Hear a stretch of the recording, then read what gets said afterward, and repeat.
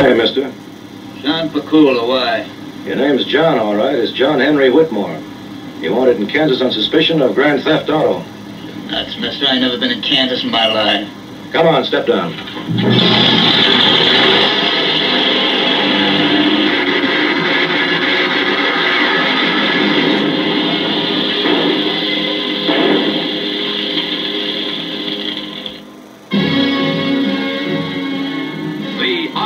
A Desilu production. Brought to you by tonight's episode, Head of Fire, Feet of Clay. Starring Robert Stack as Eliot Ness.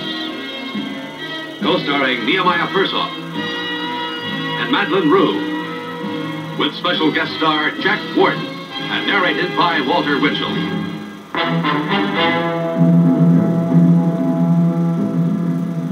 Eliot Ness, chief of the special unit, known as the Untouchables, had not eaten in 12 hours. These were the 12 hours that the jury had been out, deciding the case that Ness had prepared so carefully against a mobster named Johnny Fortunato.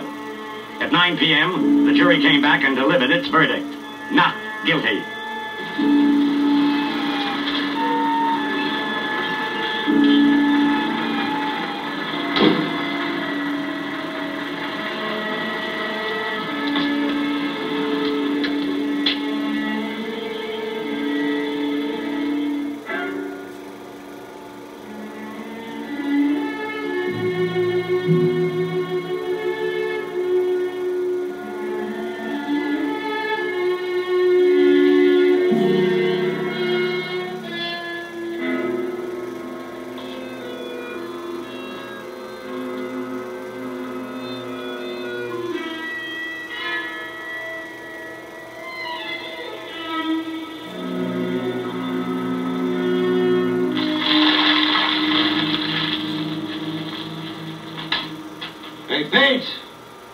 How long does to open a can of soup?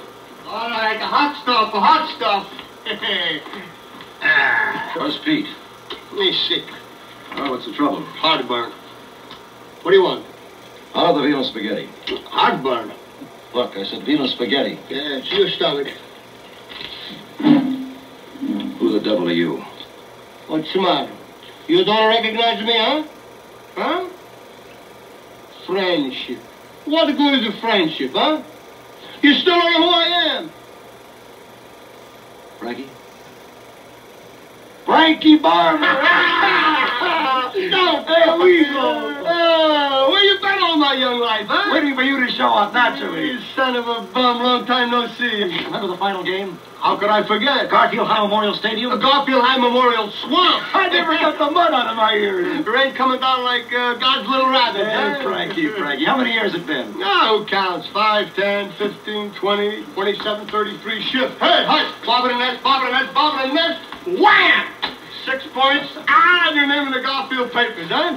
Yeah, yeah. I still get my name in the papers. Phil, you're famous, kid. You're famous. Yeah, I'm famous. Way down here under Fortunato. Oh, bitter, bitter. What happened, kid? Used to be the guy with the big smile. Yeah, Fortunato and the people who tolerate him. Yeah, that's not the trouble. Heartburn. Venus spaghetti. hey, hey, Joe. Hey, Joe. His name's Pete. Everybody's Joe, kid, but you and me. hey, Joe, give us a couple of steaks. Make them real big. Three inches thick. Scorch them lightly. Put a little hair on your bones, kid. Bob and Ness. Bob and Ness. Bob and That's Ness. Bob and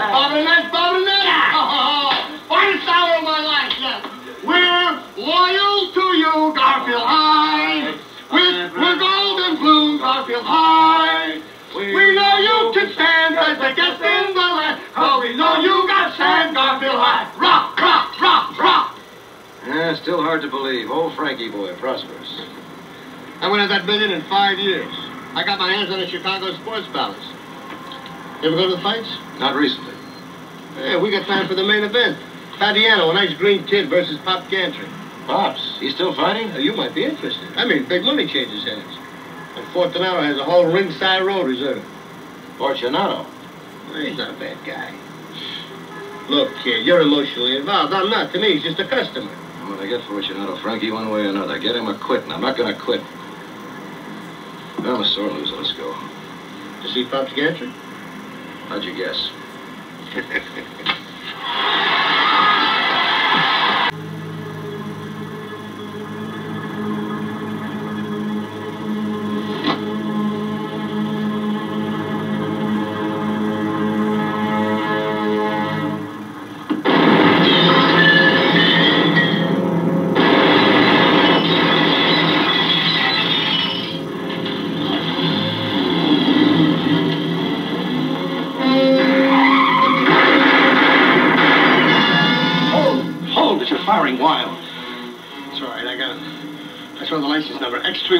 X3156.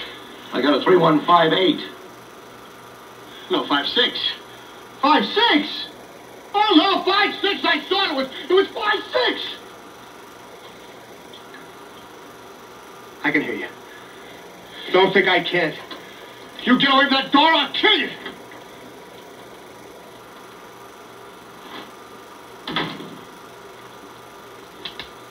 Frank, what happened? I'm alive. You surprised? You shot him. Frank, Frank, what are you doing?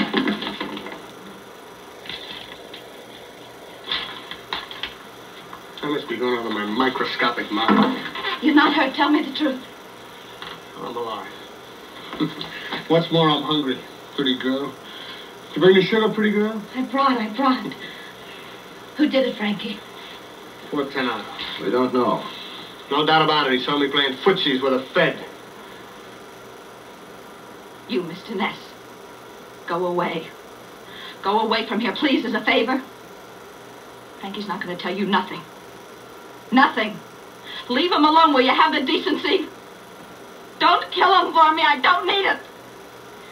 Leave him alone. Let him live. Will you do that? Will you do that little thing? You want to know something, kiddo? She's right.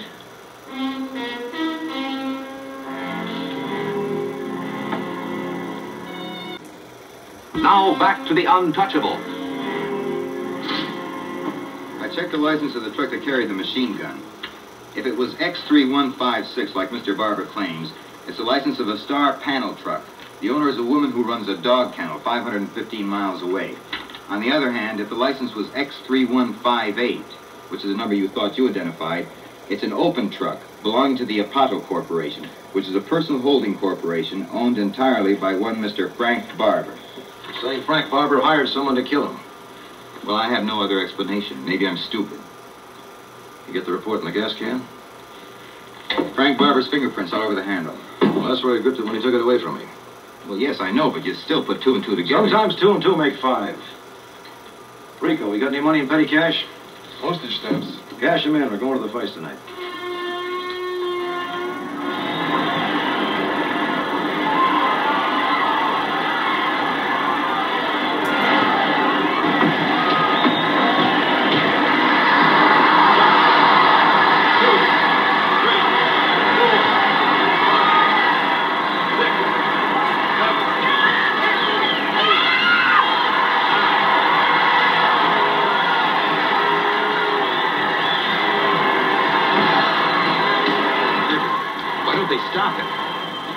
Fortunato has no bet on round four.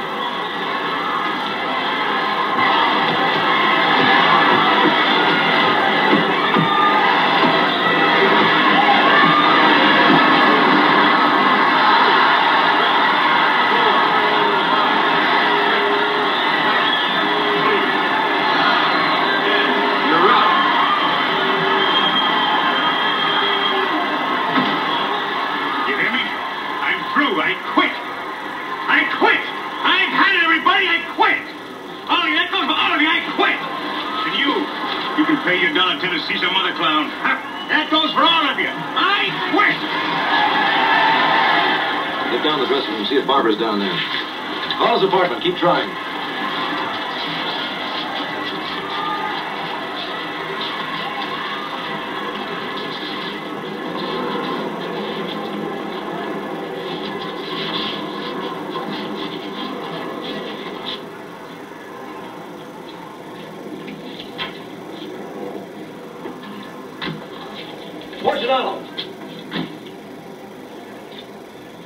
Well, well, Uncle Sam. Listen, Uncle Sam, hear me and hear this good. I don't like you to follow on me.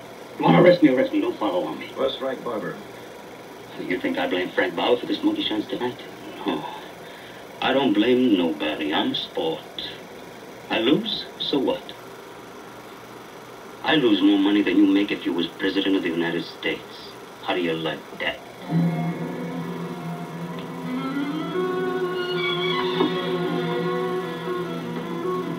I says drive on.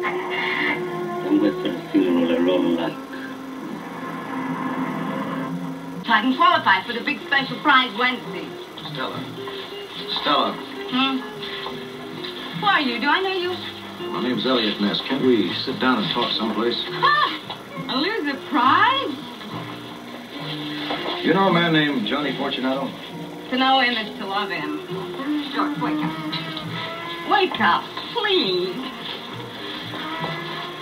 Did you take a sum of money from Fortunato and deliver it for him? Maybe I did, maybe I didn't. Why should I tell you? Because I'll arrest you if you don't. Oh. Oh, yes, fair enough. If I go to jail, I lose a prize, won't I? I imagine so. I did. Did what? Took the money. Was in a briefcase, locked up. Took it to whom? To my husband, Frank Barber. Frank Low Old Barber. Yes, sir, that's all. Frank Barber's wife? You're Frank Barber's wife? Don't mention that name to me. A dead beat.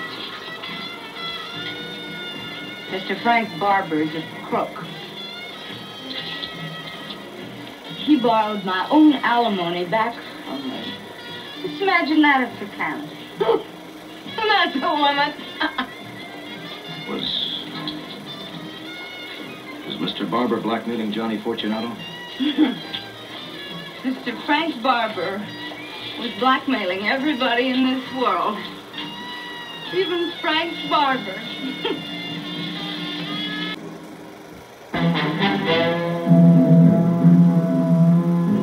Eliot Ness could find no trace of his friend Frank Barber. His apartment was empty. His bank account, which had been empty, remained empty. On the morning of October 20th, Frank Barber's girlfriend, Chicky Bernstein, regained consciousness. She's in a very serious condition. I don't know if I'm she will- sorry, but this is important. She's had a rather severe concussion, and evidently is suffering from some sort of motor aphasia.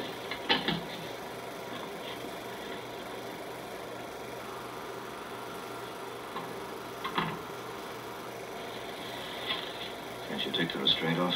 No, no, she tried to get out of the window twice. Is it all right to talk to her? Well, the, the speech centers in her brain have been injured.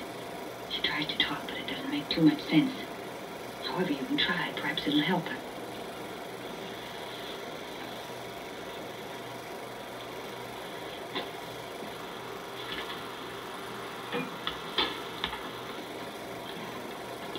I'm Eliot Ness. Remember me? Uh, gaslight. A ghost. A jolly celebration. I'm an old friend of Frank Barber's. Remember? Do you know where he is? Miracles in the parlor. I trapped. Nobody answers the front door. Easy, easy. Try slowly, slowly. Uh, think before you answer. What happened to Frank Barber at the accident?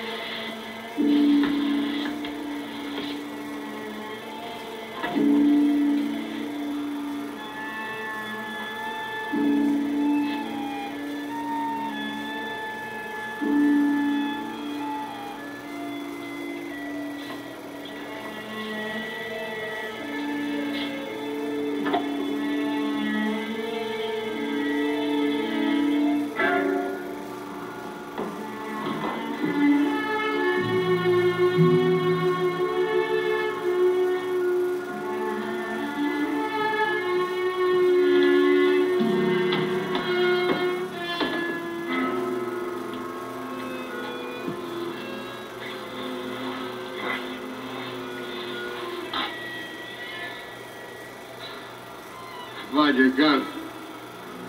Fortunato? Mitch! Jackie, where are you? Come on and help me. Liaison, where are you? Yellow. Yellow. Everybody's yellow except Johnny Fortunato. Shut up! Is that you, Ness? Call an ambulance. Do you hear me? I'm losing blood. Don't worry, you'll survive. Long enough to stand trial. I'll pay you. I'll pay you. I'll pay you, Mr. Ness. I'll pay anything you want. Mr. Ness, anything you want. Try to get your case in court, kiddo. What's his left, huh? Not even gonna die, am I? No, Frank. Ah. Not even gonna die. Not even that, kid. Not even that much I can do for you. Huh, kid?